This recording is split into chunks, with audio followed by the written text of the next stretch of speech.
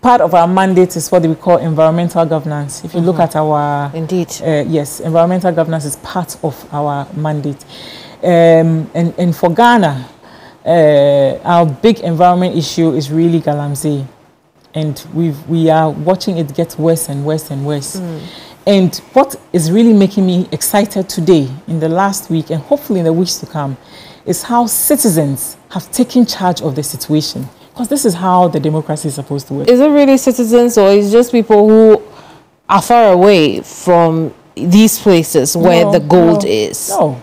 Are you saying that the people who are members of TUC don't have relatives in Galamsey? Are you saying that uh, the, the people who, are other professional groups? I mean, we shouldn't talk I mean, if. but I'm but I'm saying Yeah. that the people who are involved in Galamsey, uh, they are not making that call. They feel that it is their birthright to reach the gold.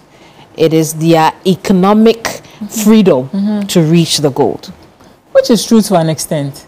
Gold, the idea of mining is not a bad idea. We've been mining gold on this blessed land for over 500 years, and there's still more. So, mining itself is not the mining of it, it is the way you are mining that's the problem. There's legal mining. Mm-hmm. There's legal mining that we are all familiar with. There's artisanal mining mm-hmm. that is legal, where community mining, where people in the community have every right. Mining should not be just about giving concessions to international companies. The people of the land have every right to benefit from the gold that the land produces. But there is a process to it. You don't just get up one day, get your hands on some mercury and pour it into the river. You cannot do that. You cannot do that is a crime. That's got nothing to do with mining. That is a criminal activity that must be dealt with as a crime. I see, but I mean, so who is to blame then for where we ha- we find ourselves today? It's not so let me let's take this step by step. Okay. Right? What I'm saying is that I'm happy that big organizations like TUC, like the big professional bodies, are speaking about this, are raising that. We shouldn't discount that as nothing. We should never discount that. That mm-hmm. is important. That is the people raising their voice. That is representatives of the people raising their voice. Look, if you work in, if you are a member of TUC and you work in the public sector, do you know how many lives every public sector salary touches? Every person who is paid in the public sector, most people, the salary touches many people beyond their immediate family. True. So don't think that uh, these people are just talking. They, everybody in Ghana is connected to the Galamsey one way or the other. If it's not happening in your community, it's happening in another community. Even if it is not happening in any community you come from, to the extent that they are poisoning the source of water for all of us, you are also affected. So it is not really true that, oh, it is only people who are sitting in the city who know, who have a problem with it. We all have a problem with it.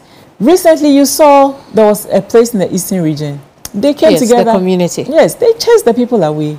So the, it's not that the awareness is not there. It's just that sometimes people feel, uh, people don't feel But it's, it's, empowered. it's taken quite a bit for that awareness. it doesn't to, matter. It's to come. happening now. It's better late than never. It's happening now, and we just need to build this momentum and not lose it. We have to keep the momentum and not lose it. More communities have to stand. The leaders, the traditional authority, and the people of the community must stand and say, no, we are not doing this. Will this go anywhere when we hear that the people who are supposed to lead us are themselves engaged in this? but the people who are supposed to lead us, who made them leaders?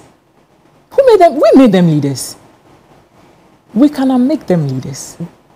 We can ensure that whoever is leading us will do what we want them to do. I we see. have not used our power properly. Look, I keep, when you say that people say, what's the point of leadership? It's true. Ideally, you must have a certain type of leadership whereby, you know, things don't go so way out of hand. But if that does not, if that does not happen, it doesn't mean that we, the citizens, must just sit, sit down and watch. What we are doing now is very important. You know, please, media, let's not discount it. Let's not always look at the negative side. Oh, but this didn't work. That no, we are doing something now. Well, we- we- We're also comparing to history Mm-hmm. and the fact that uh, we have seen a lot of agitations. Mm-hmm. Uh, many of them have not worked. A couple of them have. Yes. But many of them haven't Well, I'm glad you said a couple and, of them have. And in the case of Galamsey, when we know that certain things have happened under this administration for mm-hmm. Galamsey to have been nipped in the back, mm-hmm. bud, but it didn't happen. Mm-hmm. It, it, it's, it creates a certain condition to not trust that the agitations we are seeing today uh, will yield any positive results. I wonder why you are so positive about it. I'm so positive because I believe in people action. I'm a strong believer in that. And I know that politicians, I keep telling you, are rational people. Mm. And they will do what the people want them to do because they want votes.